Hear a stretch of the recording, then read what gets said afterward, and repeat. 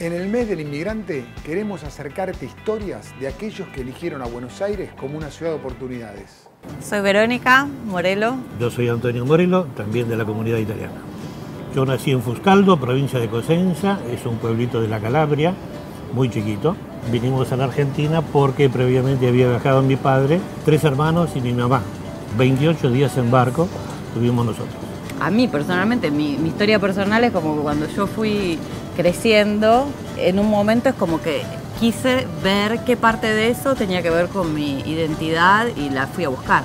Buenos Aires primero me recibió, me dio una escuela, y empecé desde la primaria hasta la universidad, me dio una familia, una esposa maravillosa. Yo soy de Buenos Aires, o sea, tengo las raíces en Italia, pero soy de Buenos Aires. La diversidad cultural, como te decía, eso me parece alucinante, es una ciudad maravillosa.